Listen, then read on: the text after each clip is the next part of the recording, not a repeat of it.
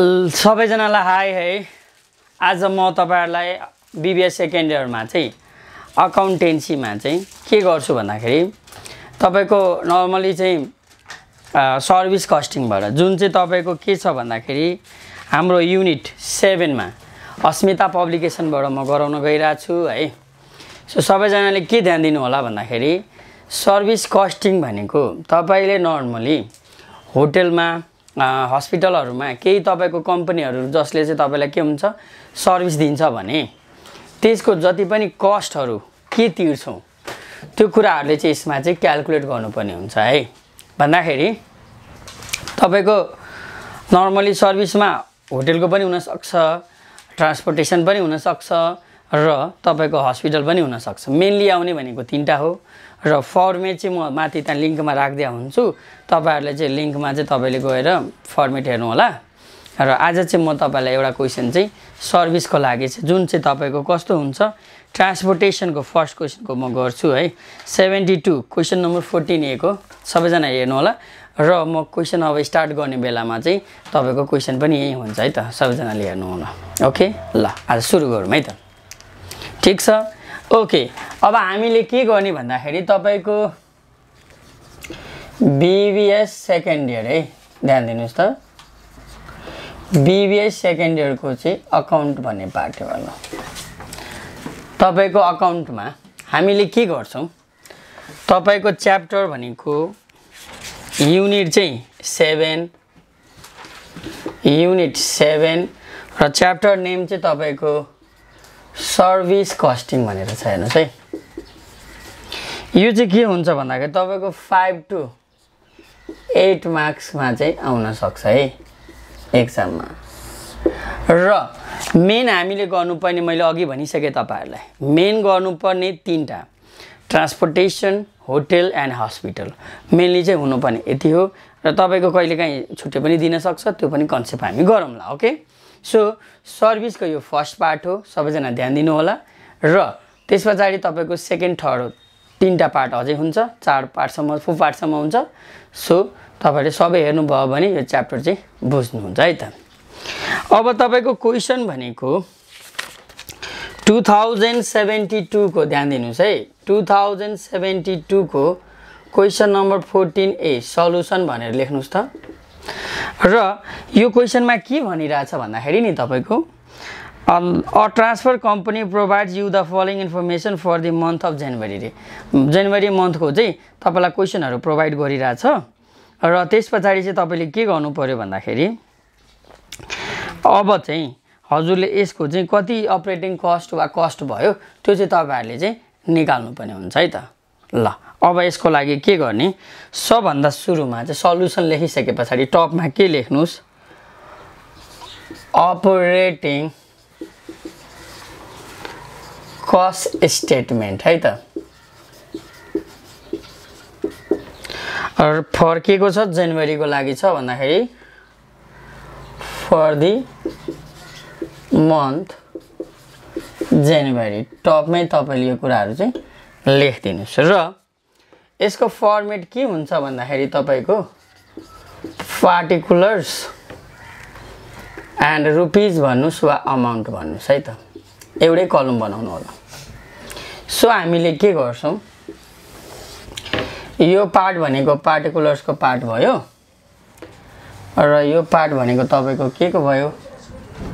Amount र particulars दुईवटा मात्रै बनाउनेलाई हेर्नुहोस्। यति पार्ट तपाईँको हुनुपर्छ ओके?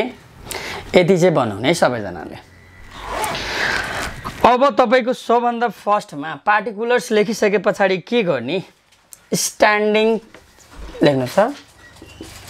स्ट्यान्डिङ चार्जेस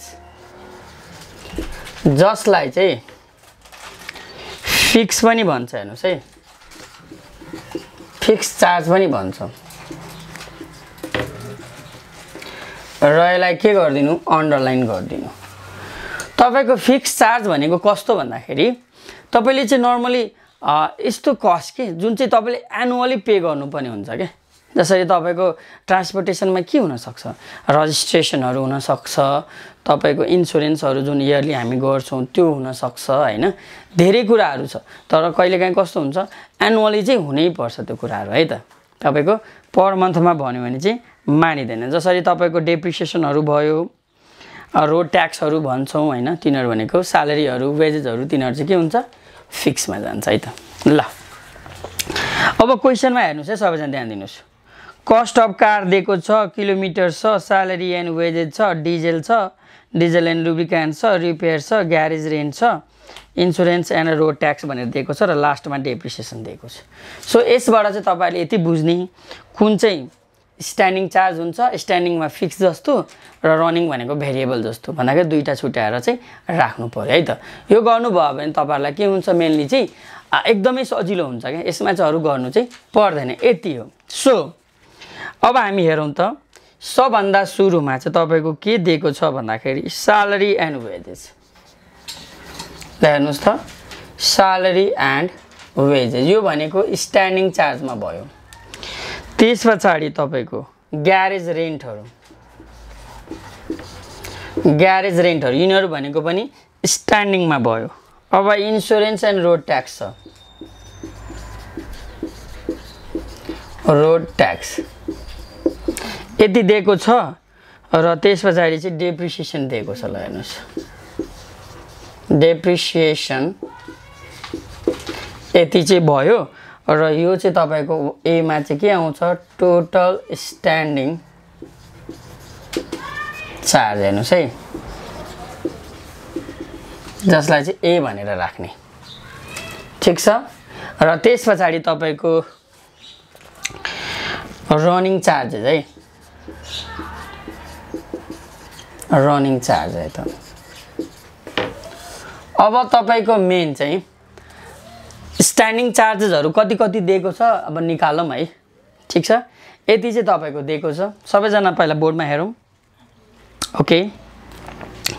जसरी तपाईँको हेर्नुहोस् न यो ज मन्थ अफ के को दिएको छ? जनवरी भन्दाखेरि तपाईँको स्यालेरी एन्ड वेजेस भनेको तपाईँको क्वेसनमा फोर्टी थाउजन्ड दिएको छ। यसलाई केही गर्नु पर्दैन। भन्दाखेरि तपाईँले एनुअलमा हुनुपर्छ भनेको थियो तर एनुअल अमाउन्ट राख्नुपर्छ भने छैन। वान मन्थ जनवरीको ओन्ली भनिरहेछ सो हामीले के गर्ने? जनवरीको मात्र राख्ने है त? ल ग्यारेज रेन्ट हेरौँ त अब कति छ? टेन थाउजन्ड क्वेसनमा दिएको छ हेर्नुहोस् है। ल। अब इन्सुरेन्सहरू तपाईँको कति दिएको छ? नाइन्टी थाउजन्ड भनेर छ। तर पर एनममा छ हेर्नुहोस् है।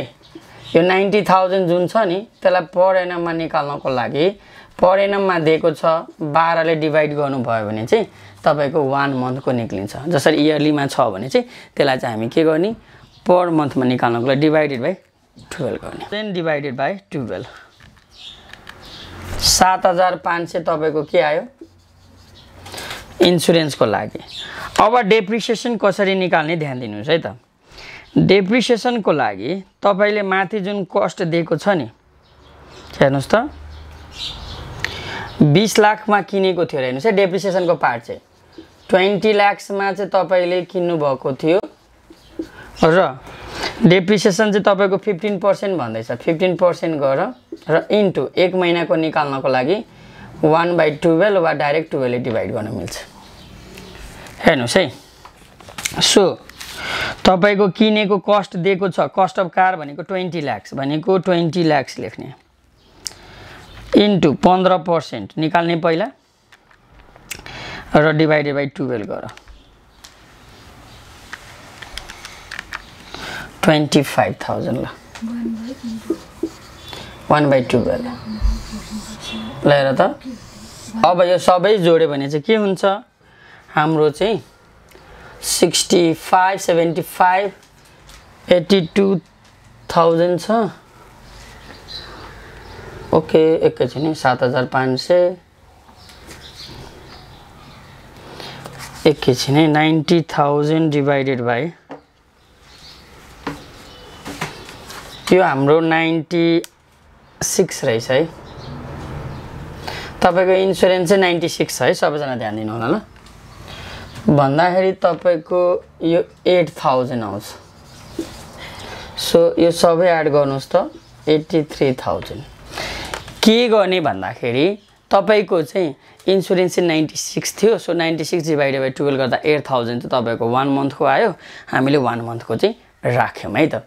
अब के छ भन्दाखेरि तपाईँको सबै टोटल गर्ने टोटल गरिसकेपछि एट्टी थ्री थाउजन्ड आयो। यो भनेको तपाईँको के भयो? स्ट्यान्डिङ चार्ज भयो। अब चाहिँ हामीले के गर्ने? रनिङ चार्ज र ध्यान दिनु होला हेर्नुहोस् है। डेप्रिसिएसन पर्सेन्टेजमा दिएको छ भने कस्टबाट निकाल्ने जति पर्सेन्ट छ र डिभाइडेड बाई टुवेल्भ किन भन्दाखेरि वान इयरको भ्यालु हुन्छ। वान मन्थको निकाल्नाले डिभाइड बाई टुवेल्भ गर्ने। अब तपाईँको रनिङमा हेर्नुहोस् त रनिङमा दुईवटा कुरो दिएको छ। एउटा रिपेयर भनेर छ र अर्को भनेको डिजल एन्ड रु रुब्रिकेन्ट डिजल एन्ड लुब्रिकेन्ट्स यो दिएको छ हेर्नुहोस् है। भन्दाखेरि डिजेलको लागि तपाईँको के भनिरहेछ? रिपेयरको लागि चाहिँ सेभेन थाउजन्डै छ अलरेडी हामीले सेभेन थाउजन्ड राख्ने। र तपाईँको लुब्रिकेन्ट्सको लागि के भनिरहेछ भन्दाखेरि डिजेलको लागि पर किलोमिटर चाहिँ फाइभ रुपिज रे हेर्नुहोस् है। भन्दाखेरि हजुरको जम्मा टुवेल्भ थाउजन्ड किलोमिटर कुदेको छ हेर्नुहोस् है। क्वेसनमा। र एक किलोमिटरको लागि तपाईँको कति भनिरहेछ? फाइभ रे होइन? फाइभ पर किलोमिटर डिजलको। So sixty thousand. अब यो पनि टोटल गरिदिउँ। के आउँछ? Total running charge. ल। जसलाई चाहिँ बीले डिनोट गर सिक्सटी सेभेन थाउजन्ड हेर्नुहोस् है। भन्दाखेरि मैले चाहिँ तपाईँको स्ट्यान्डिङ चार्जेस पनि निकालेँ। रनिङ चार्जेस पनि निकालेँ। अब के गर्नु पऱ्यो भन्दाखेरि दुइटैलाई जोडिदिनुहोस् होइन दुइटैलाई जोड्यो भने टोटल आउँछ हेर्नुहोस् है। अब total cost is cost to के गर्ने? Total cost is cost to लेख्नुहोस् ए प्लस बी भन्दाखेरि दुइटै जोडिदिने। एट्टी थ्री भनेको नाइन्टी र सिक्सटी सेभेन भने कति आयो भन्दाखेरि टोटल चाहिँ तपाईँको one lakh fifty thousand one lakh fifty thousand भनेको हजुरको के आउँछ? टोटल कस्ट आउँछ। हेर्नुहोस् है। स्ट्यान्डिङ चार्जेस निकाल्ने रनिङ चार्जेस निकाल्ने र दुइटैलाई चाहिँ के गर्ने? एड गरिदिने टोटल कस्ट हुन्छ। ओके यो भयो वानको एन्सर पहिला टोटल कस्ट निकाल्ने। अब यसमा चाहिँ सेकेन्डमा चाहिँ प्रफिट पनि निकालेर जसमा चाहिँ ट्वेन्टी पर्सेन्ट चाहिँ प्रफिट अन कस्ट भनिरहेको छ। यो पनि म निकाल्छु है। कपी गरौँ। यही क्वेसनमा प्रफिट भन्दैछ हेर्नुहोस् है। म बीको क्वेसन पनि लेख्छु। बीमा चाहिँ के भन्दैछ हेर्नुहोस् है। Profit if the company if the company charges 20% profit on cost ल हेर्नुहोस् है जब भन्छ नि तपाईँको अनकस्ट हेर्नुहोस् है अब प्रफिट कसरी निकाल्ने? तपाईँको total cost into profit percent निकाल्ने। जब अनकस्ट भन्यो भने प्रफिट अन कस्ट भन्यो भने यसरी गर्ने। टोटल कस्ट कति थियो? टोटल कस्ट लेख्ने हेर्नुहोस् है। Total cost into profit percent है त ल। भनेको टोटल कस्ट भनेको वान लाख फिफ्टी थाउजन्ड र प्रफिट पर्सेन्ट भनेको हजुरको ट्वेन्टी पर्सेन्ट दिएको छ। सो निकाल्नुहोस् त। थर्टी थाउजन्ड आउँछ तपाईँहरूको प्रफिट ओके यो चाहिँ profit total cost on cost भन्यो भने चाहिँ तपाईँहरूले यो गर्ने। र कहिलेकाहीँ चाहिँ सेल्स पनि भनिदिन्छ कि? सेल्स भन्यो भने कसरी प्रफिट निकाल्ने हेर्नुहोस् है। तपाईँको प्रफिट अन सेल भन्यो भने के गर्ने? यसकै लागि हेर्नुहोस् त। प्रफिटको formula total cost into profit hundred minus profit ल। यो चाहिँ तपाईँको के भयो? प्रफिट निकाल्ने चाहिँ फर्मुला भयो। यति गर्नुभयो भने तपाईँको फाइभ मार्क्स तपाईँले ल्याउन सक्नुहुन्छ है। यो फर्स्ट पार्ट भयो। तपाईँहरू सेकेन्ड थर्ड फोर्थ तिनवटा अझै आउँछ। केही कन्फ्युजन लाग्यो भने तपाईँले कमेन्ट गर्नुहोस्। मेरो फेसबुकमा लिङ्क छ। केही कुराहरू गर्नु पऱ्यो भने लिङ्कमा गएर मलाई म्यासेज गर्न सक्नुहुन्छ है त। ओके आजलाई यति। Thank you